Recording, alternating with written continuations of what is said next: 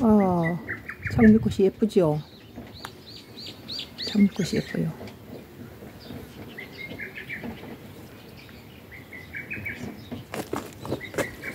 장미꽃이 너무 예뻐요.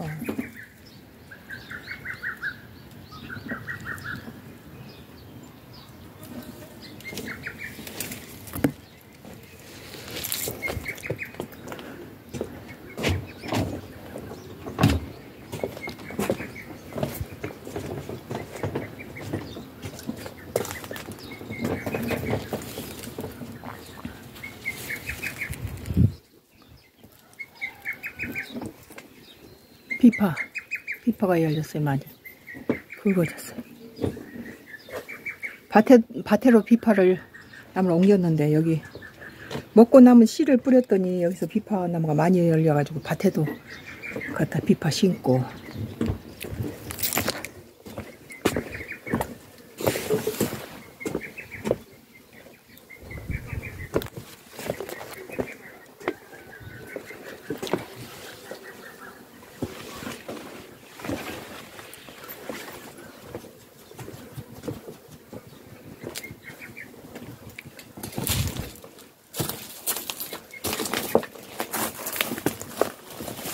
아, 여기 비파 엄청 크죠? 엄청 크게 열렸어요.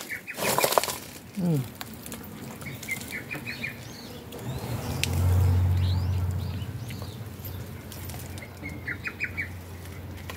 요거 자두나무인데 올해는 자두가 요새 과실수가 전반적으로 안 열려요.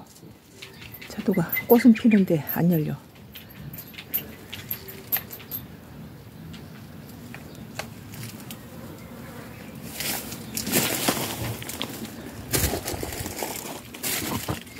체리도 체리도